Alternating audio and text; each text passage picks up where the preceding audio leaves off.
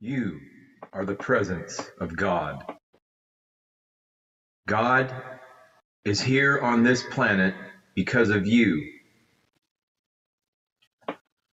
Once you are able to open up completely, fully, completely to the meaning of this truth, it will become the overriding, the overriding reality of your informed experience, of your awakened experience. The simple fact that you are aware, that you are conscious, that you experience everything through your consciousness means that you are the presence of God. God is present on earth because of you, by virtue of your consciousness, your awakened state. And once you are able to open up completely to the meaning of this truth, it will become the overriding reality of your informed experience, of your awakened existence.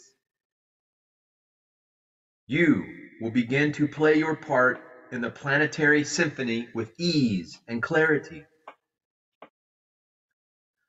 As soon as you begin to look outside of yourself as individually defined out into the world around you to see how you can make yourself useful,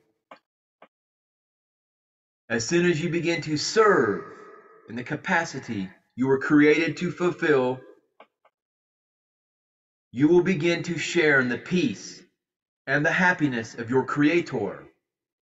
You will experience a state of consciousness so superior to any you have experienced before that it will make your previous life seem but a dream. Namaste, Namaskaram.